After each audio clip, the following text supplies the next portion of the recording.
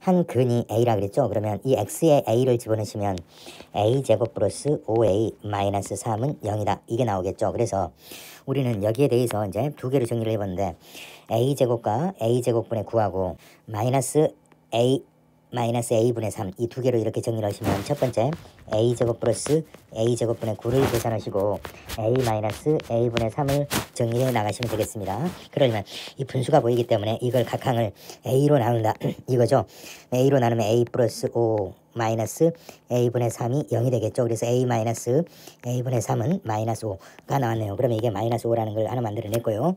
이거는 변형 공식을 이용하면 되겠죠. 자, 이거는 변형 공식을 쓰는데 연결부가 마이너스로 변형 공식을 써야 되겠죠. 그래서 a 마이너스 a분의 3의 제곱 플러스 여기 곱해서 2배가 되는 거죠. 그래서 6이 나오겠습니다. 그래서 이게 마이너스 5이기 때문에 25 플러스 6이 되면서 31이 나오겠죠. 31과 마이너스 5를 더하는 거죠. 그래서 31과 마이너스 5를 더하게 되면 답은 26이 답이 되겠네요.